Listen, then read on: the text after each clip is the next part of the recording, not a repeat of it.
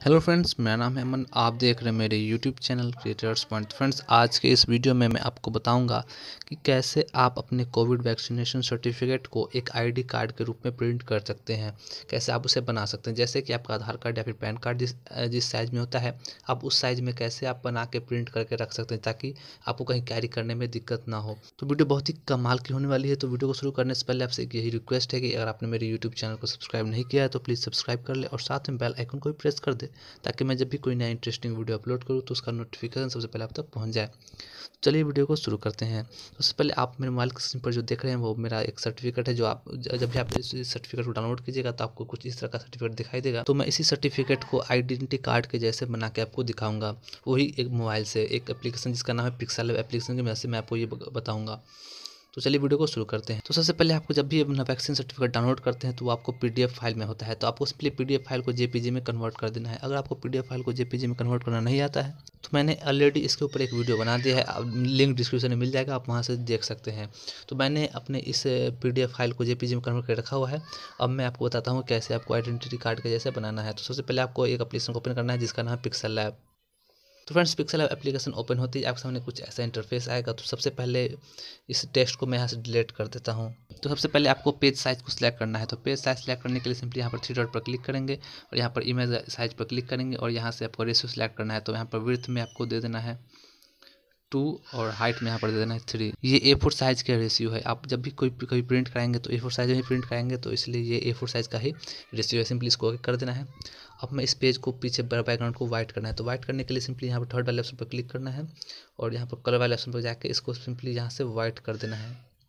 तो सिंपली मेरा पेज पूरा वाइट हो गया है। उसके बाद आपको यहाँ पर वैक्सीन सर्टिफिकेट इस इस ऐप में इंपोर्ट करना है। तो इंपोर्ट करने के लिए यहाँ पर प्लस वाले आइकन पर क्लिक करेंगे और यहाँ से फ्रॉम गैलरी पर सिलेक्ट करेंगे। और यहाँ से मैंने जो पीडीएफ से जेपीजी में कन्वर्ट किया था उसको यहाँ सेलेक्ट कर लेंगे।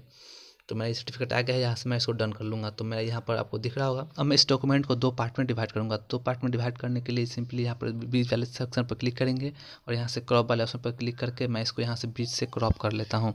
तो जिसके आधा पार्ट में इसको क्रॉप कर लूँगा क्योंकि मैं आधा पार्ट को एक साइड और, आधा, और बाकी आधा पार्ट को बैक साइड में दिखाना चाहता हूँ।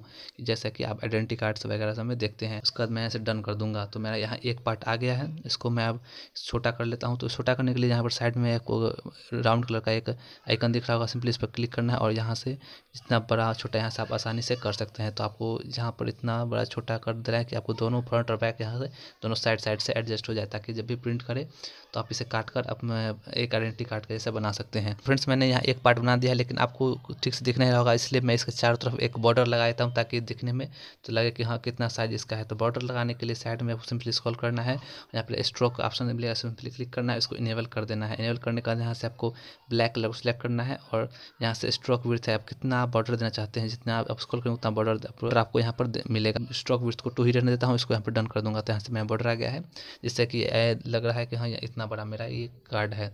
उसके बाद अब फिर से आपको वो इमेज को इंपोर्ट करना है ताकि मैं फिर से बैक वाले साइज़ को क्रॉप करके बैक वाले साइज़ को बना सकूँ। तो मैंने वो भी फ़ोटो को यहाँ पर इंपोर्ट कर लिया है। अब मैं इस पर क्रॉप वाले ऑप्शन पर क्लिक करूँगा और यहाँ से मैं बैक वाले साइड को क्रॉप कर लूँगा। तो मैं यहाँ से इतना क्रॉप कर देता हूँ। तो मैंने इतना क्रॉप कर दिया, उसको यहाँ पर डन कर दूँगा। तो यहाँ पर मेरा ये बैक वाला भी आ गया तो मैं इसको छोटा करता हूँ।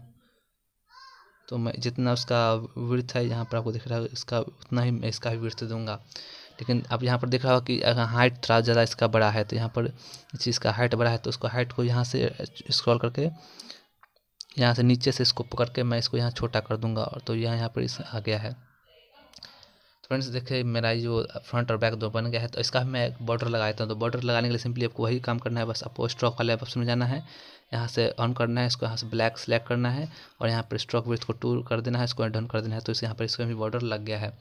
फ्रेंड्स मेरा दोनों यहाँ पर बन के तैयार हो गया है। फ्रेंड्स यहाँ पर मेरा फ्रंट और बैक दोनों बन गया है। अब मैं इसको सेव करूँगा। तो सेव करने के लिए सिंपली आपको यहाँ पर ऊपर में सेव पर क्लिक करना है और सेव एज इमेज पर क्लिक करना है और यहाँ कस्टम वाले ऑप्शन पर क्लिक करके यहाँ पर अल्ट्रा पर क्लिक करना है ताकि आपका जो सेव हो, पूरा हाई क्वालिटी में सेव हो। उसको यहाँ पर सेव टू गैलरी कर देना है। तो मेरा ये जो है गैलरी में सेव हो गया है। चलिए मैं आपको गैलरी में दिखाता हूँ, ये कैसे दिखता है। फ्रेंड्स फाइनली मेरा जो आपको दिख रहा है, ये कार्ड एकदम आसानी तरीके से बन के तैयार हो गया है। मैं इसको आपको जूम करके दिखा देता हूँ। एक साइड ये फ्रंट साइड का हो जाएगा और ये बैक साइड का हो जाएगा। बैक साइड में भी आपको देख सकते काफ़ी आसानी से आप यहाँ पर देख सकते हैं।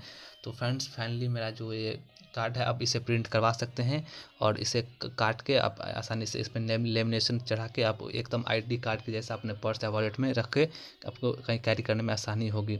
तो उम्मीद करता हूँ कि आपको वीडियो काफ़ी अच्छा लगा होगा। वीडियो अच्छा लगा तो प्लीज़ लाइक कर दिएगा चैनल पर नए चैनल को सब्सक्राइब ज़रूर कर दिएगा तो मिलते हैं फिर से ऐसे इंटरेस्टिंग वीडियो के साथ। तब तक के लिए थैंक्स फॉर वॉचिंग